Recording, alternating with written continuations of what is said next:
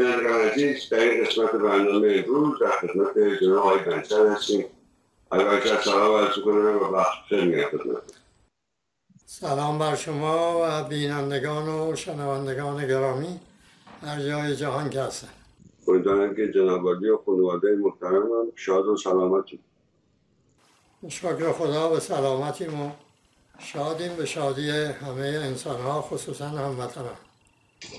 ببینید خیلی سپاسگزارم که بازم دعوت ما پذیرفتین.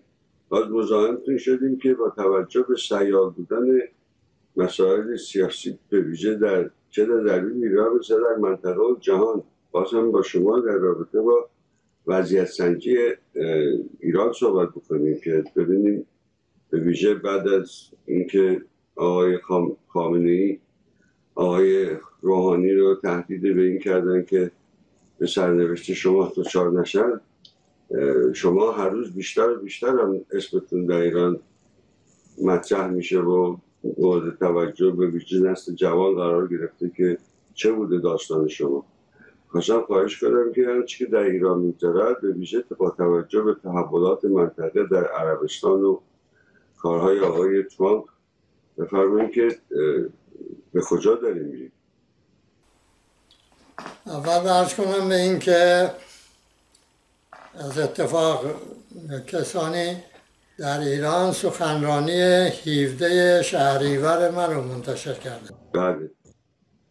که در اونجا می‌گویم یک اقلیتی می‌خواهد که دولت رو تصرف کنه و بر جان و مال و ناموس شما مردم بستیت پیدا کنه.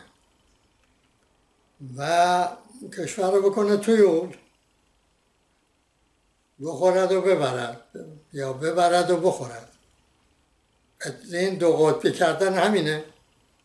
دو قطبی کردن یعنی یک اقلیتی که سلطه پیدا کنه به جبر و زور بر مردم و وسیعت پیدا کند بر جان و مال و ناموس مردم و مشغول بشه به خورد و برد که اینا هم همین وضعیت امروزه. اونایی که اینو نش دادن در واقع خواستن به بگوین که آقای خامنه او بنی دو قطبی نکرد. بنی هشدار داد که که جامعه دارد دو قطبی می شود اون اقلیتی بر جامعه حاکم می شود و این بلاها سر شما می آورد مردم ایران حواستون جمع باشه. و این روش زورمدار هاست و نمیگه که من این کار دارم می‌کنم. اونی که می‌گوید هشدار می‌دهد که همچه خطری هست میگه خود او داره جامعه رو دو قطبی می‌کنه. حالا این جامعه دو قطبی که اون زمان در 17 شهریور ارز کنم 1359 هشدار داده شده و واقعیت پیدا کرده رسیده به مرحله ای که جامعه ایرانی می‌بینه که این ادامه این سلطه این اقلیت و این دو قطبی شدن داره موجودیت ایران رو به خطر میاندازه. همین پریروز یا دیروز خوندم که متصدی این محیط زیست ایران گفته 95 درصد ایران در معرض خوشحالی است. 95 درصد. اما این نه پدیده خاص ایران باشه. اتفاقا تازگی یک کتابی را آوردن برای من یعنی برای همسر من آورده بود یک خانمی که یک سن خانم سناتور امریکایی نوشته. در باب اینکه طبقه متوسط در امریکا در حال کوچک شدن است و جامعه امریکایی داره دو قطبی می شود به اون معنا که همون یک اقلیت خیلی کوچک که حاکم است بر کل جامعه. بله. و یک مصاحبه هم از آقای ساندرس گوش دادم که او هم داشت همین رو توضیح می‌داد که ما الان در یک امریکایی داریم زندگی می‌کنیم که دارد به قطبی می شود مثلا های میانه در حال ازمهلال هم حالا توی منطقه هم همین وضعیته. این که شما می‌بینید جنگ و آشوب فراگیر شده بدین خاطر است. یک دلیل عمدهش این است که جهان داره یک تحولی می‌کنه. این قدرت های حاکم بر منطقه ما که همین منطقه آخرین به اصطلاح منطقه تحت سلطه غربه خصوصا امریکا. در اینجا داره امریکا از موقعیت خودش دفاع می‌کنه. در حالی که در خود امریکا حکومت داره ضعیف میشه. نه تنها به لحاظ شخصیت آقای ترامپ نوع انتخاب شدن او که هنوز موضوع رسیدگی است بلکه به این خاطر که خود جامعه امریکایی داره تضعیف می شود لحاظ دو قطبی شدن. ما در منطقه با رژیم های روبرو هستیم که چند ویژگی دارند. شاخصترین این ویژگی ها یکی این است که اقلیت ها بر اکثریت حکومت می‌کنند. حالا در مورد ایران این اقلیت یک اقلیت راندخاره با یک مثلا از خود بیگانه کردن بیان دینی به عنوان ولایت مطلقه فقیه به خود, به خود رو توجیه می کند در همون حالی که همین نظریه را هم از خود بیگانه می کند یعنی اون ولایت فقیهی که روز اول بود مثلا اون که آقای خمینی در نجف تدریس کرده بود الان هیچ از اون نمونده. به کلی از خود بیگانه شده. ولی در کشورهای منطقه مثلا در سوریه هم طرف اقلیت مثلا مذهبی است. حکومت سوریه علوی هستن. بله. هم به لحاظ استبداد و اینکه اون اقلیت حاکم است بر اکثریت که تو اقلیت البته سنی هم وجود حضور داره مسیحی هم حضور داره اونایی که امتیازاتی دارن در اون جامعه. همین وضعیت شما در عربستان می‌بینید که اینجا وهابیگری و اقلیت اکثریت نیست. در این حال جامعه هم دو قطبی است. یک اقلیت صاحب امتیازه همه چیز در اختیار یک اکثریتی که اون اقلیت یک تا یک برای اینکه اون اکثریت رو بر برانگیخته نشود به مبارزه یک سهمی از اون درآمد نفت توش توضیح می‌کنه. رژیم ایران اون امکان کمتر دارد. حالا آقای احمدی نژاد اون یارانه رو مقرر کرده هنوزم کم و بیش میدن. اما با توجه به نرخ تورم که او کاری از پیش نمی‌بره. شما بر این وضعیت اضافه کنید موقعیت دلار رو به عنوان پول جهان. که در خطر الان برای اینکه اون اقتصادهایی مثل چین و اینا خب می‌بینن هیچ دلیل ندارد که باجگذار امریکا باشن بابت پولی که دلار است. با خصوص که اینا از, از امریکا بسیار طلبکارن. اینا این ویژگی در رژیم های منطقه و قدرت های حامی که دولت های ضعیف باشن. اینا ویژگی ویژگی دومی که اینا دارند ناتوانیشون است نه تنها در رشد دادن جامعه ها بلکه اصلا در اداره امور روزمره. شما می‌بینید که در کشور ما آسیب های اجتماعی اینقدر بر هم افزوده شدن که آقای خامنه ای هم به گریه افتاده از این شدت آسیب های اجتماعی. پنج به قلم رو حالا مشغولم برای اینکه راحت برش پیدا کنم. برای این آسیب های اجتماعی. این ناتوانی رژیم سوریه هم داره. خود رژیم سعودی هم دارد با همه این درآمدهای عظیم نفتی ناتوان از رشد دادن جامعه به معنای رشد انسان. اون یه دلیل آشکار هم داره برای اینکه اگر جامعه مردم عربستان رشد بکنن خود طبیعتا این رژیم رو نمیپذیرن که این درآمد نفت بکنه رانت و یک خانواده هایی بخورند و ببرند و بعد صدها میلیارد در این سفر آقای ترامپ در جمع 470 میلیارد این ثروت اونها رو به, جیب امریکایی بریزم اونم برگرده که من جاب درست کردم جاب درست کردم. بله. این این ناتوانی در مدیریت این اقلیت بودن دو قطبی بودن و این واقعیت دیگری که هم طبیعت این کشورهای ما هم مردم این کشورهای ما که جمعیتش افزوده می شود فقیر می شود. منابع داره از بین میره طبیعتش بیابان میشه و اینکه نیروهای محرکه که مهمترینش انسان ها هستن در جامعه های خودشون محل عمل پیدا نمی‌کنن.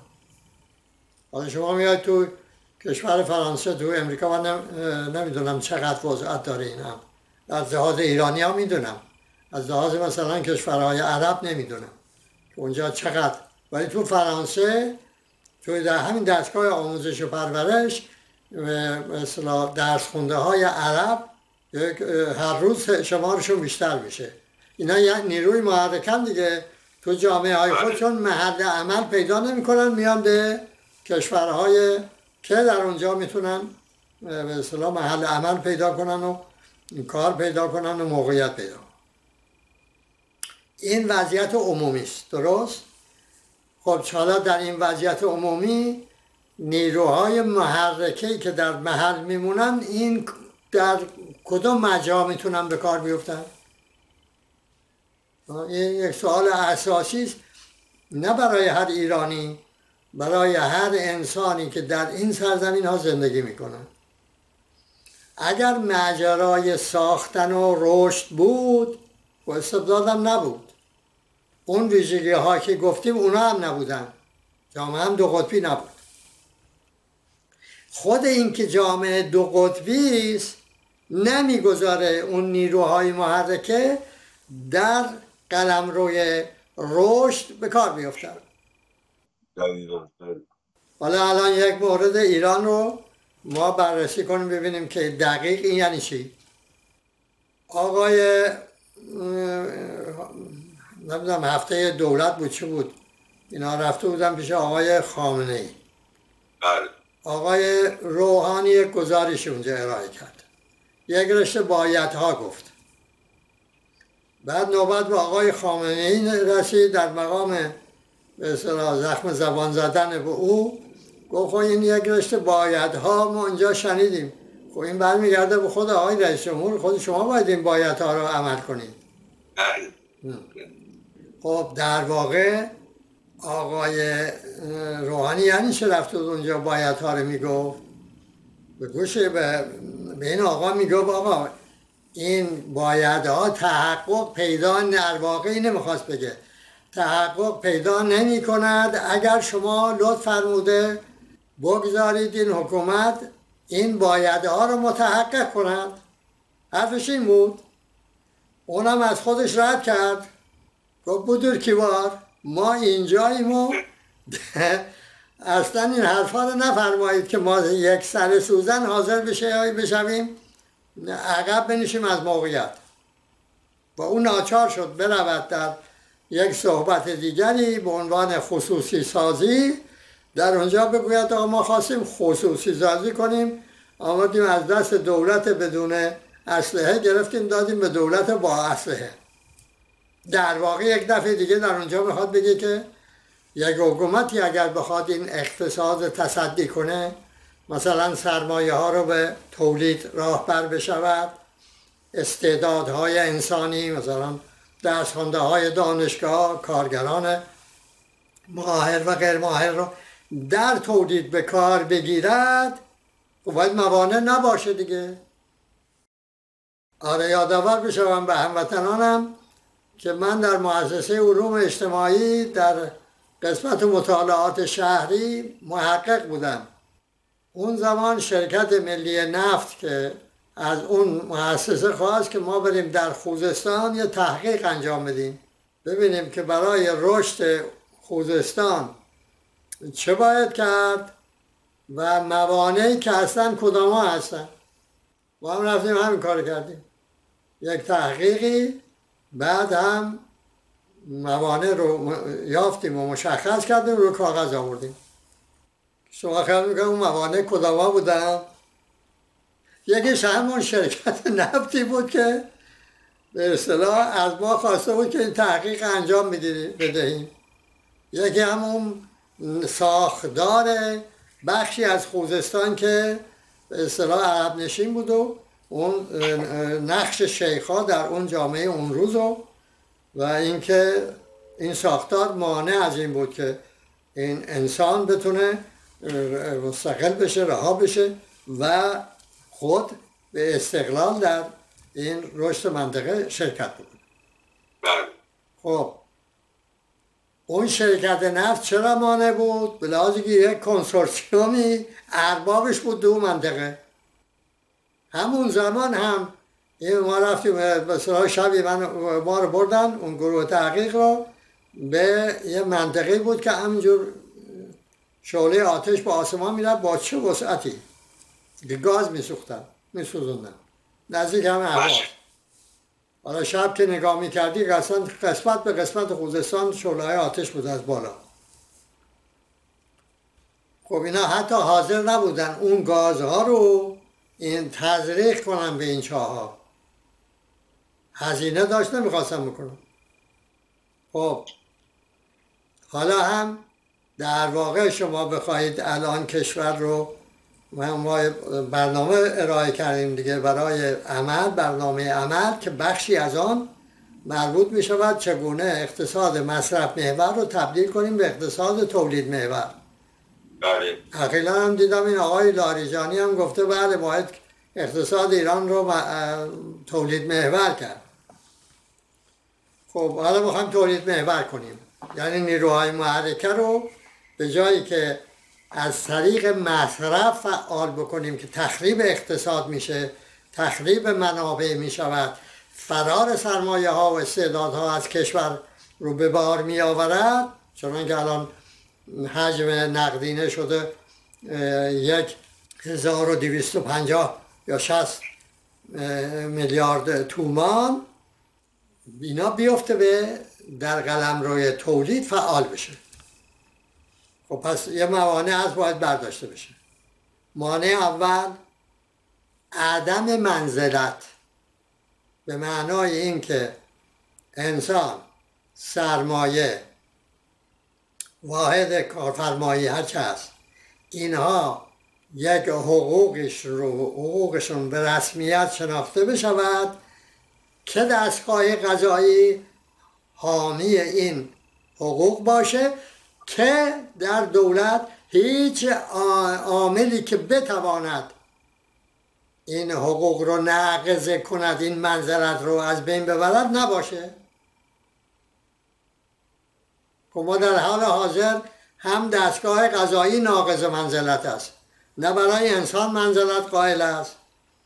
چون نه حقوق انسان میپذیره نه حقوق شهروندی میپذیره نه حقوق ملی رو میپذیره نه حقوق طبیعت رو. هیچ کدوم.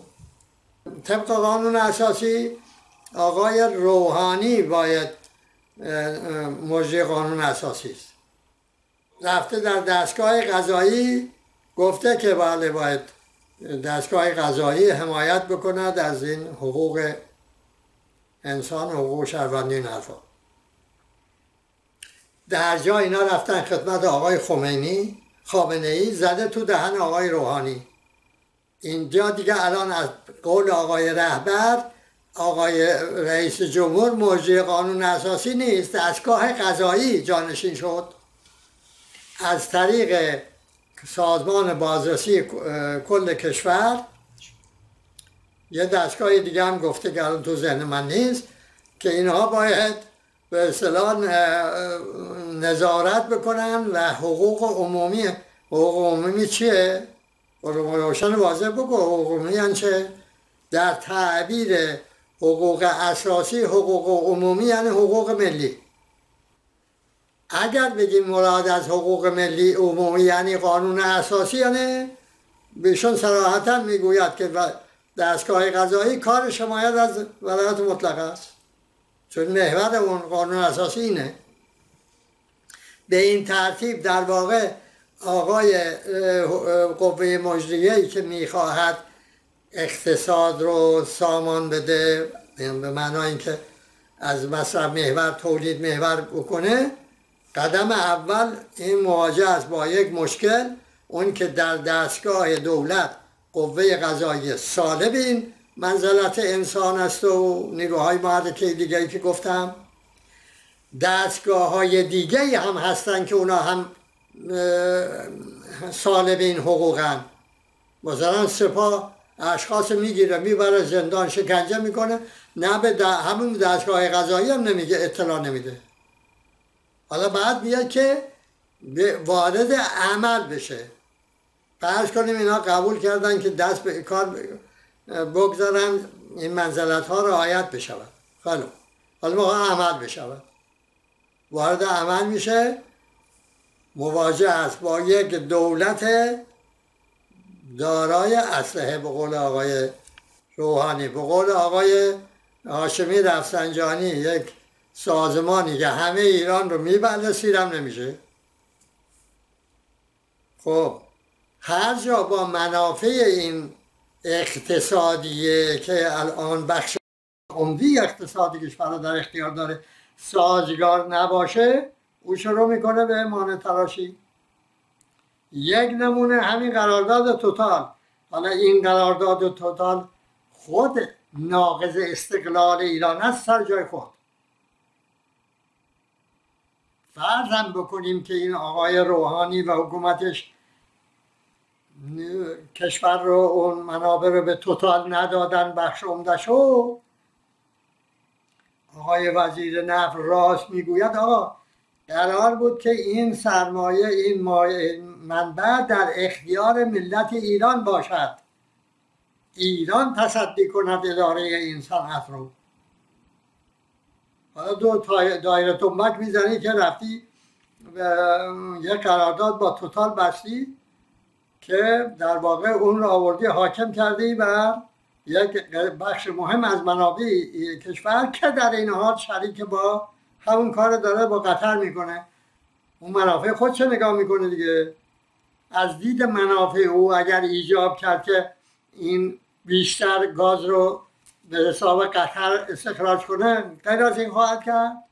و هر حال اینا ایرادات وارده در یه گفتگوی دیگری باید پرداخت دقیق به این گونه قراردادها که ناقض استقلال ایران اما از چون این آقای سپاه به اصطلاح کسب اجازه نشده از این می‌بینید که چه تبلیغات شدید ضد این توافق داره انجام می‌گیره این درته می‌بینید که مانع منزلت نیست.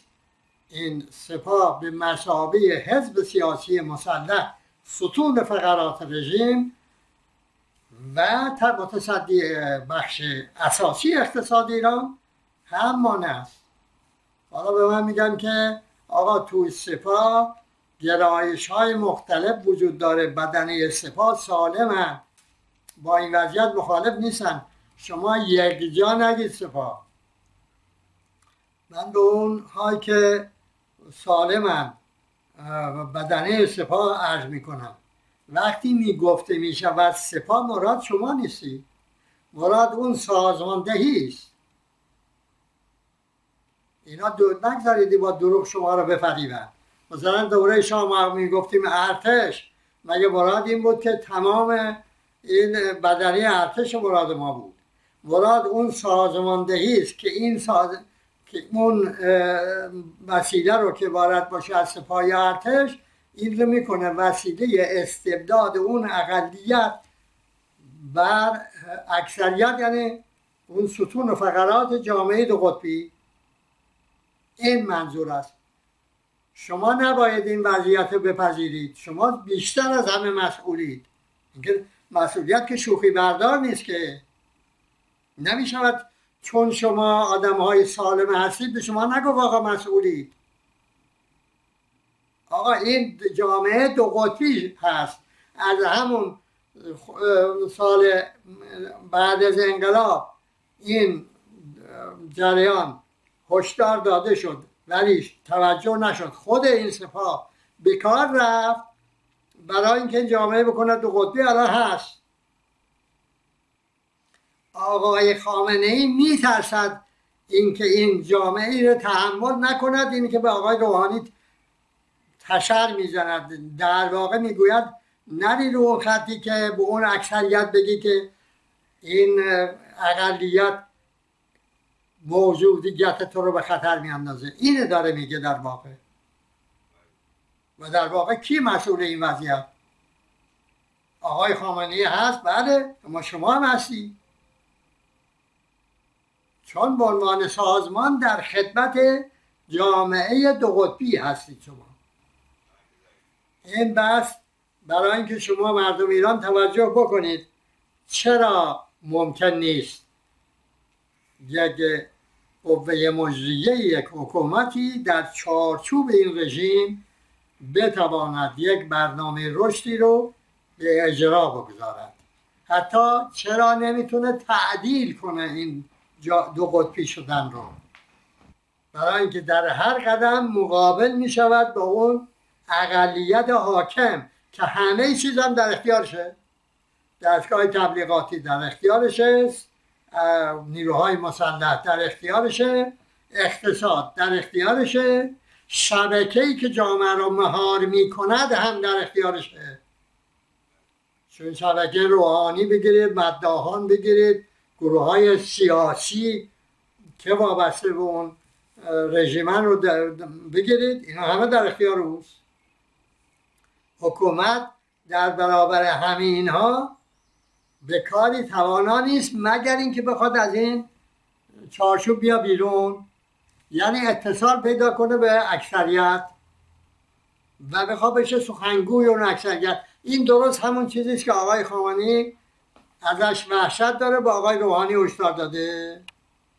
این دلیلی هم که از بنی اون زمان میترسیدن از اون زمان تا امروز هم میترسند و امروز هم بیشتر از سابق مشغولن هر روز احوال پرسی رو از بنی می‌کنن. دلیلش همینه.